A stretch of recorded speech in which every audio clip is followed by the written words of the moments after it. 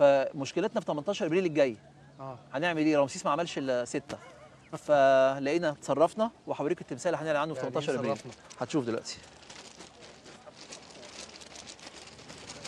دي طبعا آه، مقاعد خشب بنحطها عشان السياح يقدروا إنهم السياح ياما كنا بنشوفهم تعبانين آه ومش لاقيين حتة يعني هنا يلاقوا حتة يقدروا يقعدوا عليها.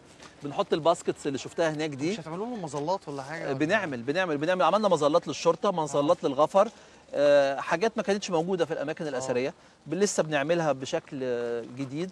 بنعمل لوحات إرشادية آه، بقدر الإمكان شكلها آه، مناسب بالعربي بالإنجليزي.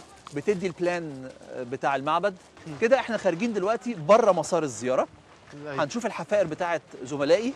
آه، عندهم تمثال. هنشوف دلوقتي بيعملوا إيه. التمثال ده جزء من ال- من المعبد؟ التمثال ده كان مدخل غربي النيل اهو. السلام عليكم. السلام عليكم. ازيك يا راجل؟ طيب بنكرمك ده النيل. هنشوف هنا مدخل غربي. آه، يعني ده ك... يعني القطعة دي جزء من المعبد. طبعا. آه. التماثيل دي كانت مكسرة. جبنا الإعلام هنا قبل ما نبدأ شغل فيها. وريناهم إن الساق في حتة. والوسط في حتة أنت والكتف في حتة والراس في حتة. ليه؟ لأني عارف إن بعد ما يخلص هيقولوا إيه؟ أنت بتشاهد بقى دلوقتي علشان إيه؟ الواحد ما- بيتعلم بقى. آه. فوثقت آه، قبل قبل الشغل يعني. حضرتك عارف إن أحسن لعيب كرة اللي قاعد في التلفزيون بياكل فشار ولب؟ هو اللي دايما بيقول آه، ليه نظريات في الكورة بتكون استغربت شوية بعدين آه لا. يعني. فطبعا الناس قاعدة ودي بقى الناس بقى شقيانة زميلي اللي طالع فوق السلم ده أستاذ أحمد مدير المعبد هو وفريق عمله اللي كل سنة بيقوموا تمثال. آه، بظروف عمل في عز الحر وبجد حاجة يعني مجهود كبير جدا اللي هم بيعملوه.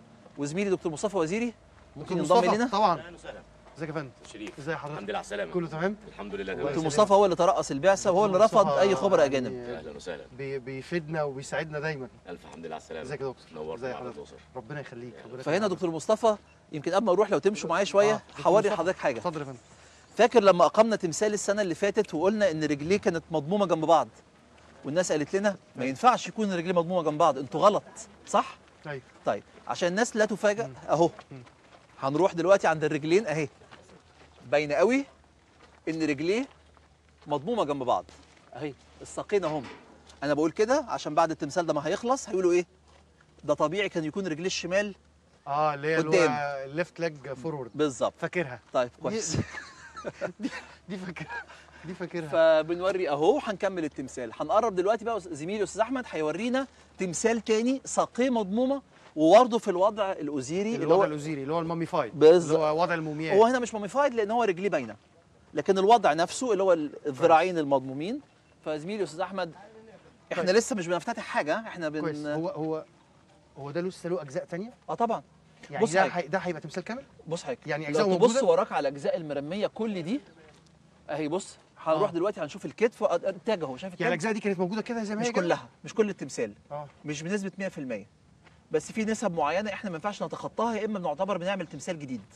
مفهوم. فإحنا النهارده الحمد لله هنا لقينا الساق لقينا أجزاء من الوسط. لو تبص على البطن مختفية تماما. آه. فاضطرينا إن إحنا نستكملها.